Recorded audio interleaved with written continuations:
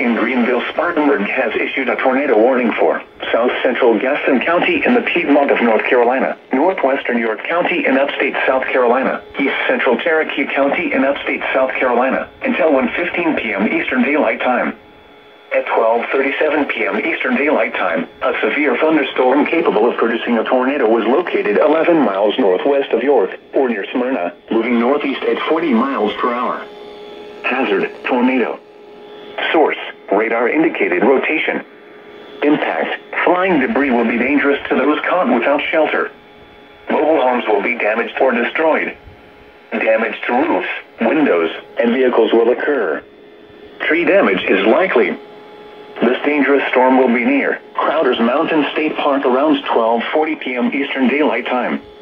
Clover and Kings Mountain State Park around 12:50 p.m. Eastern Daylight Time.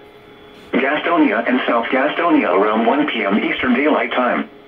Cramerton, Lake Wylie, McAdenville, Belmont and Lowell around 1:10 p.m. Eastern Daylight Time. Other locations impacted by this dangerous thunderstorm include Kings Creek, Bethany and Crowders. A brief, weak tornado is likely. Mobile homes could be flipped. Falling trees can cause death or serious injury and major damage to houses. Move to a basement or an interior room on the lowest floor of a sturdy building.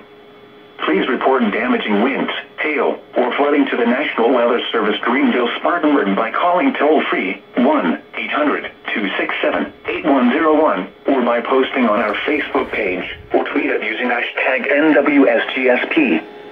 Your message should describe the event and the specific location where it occurred. A tornado warning has been issued until 1.15 p.m. Eastern Daylight Time for the following county, Gaston, North Carolina.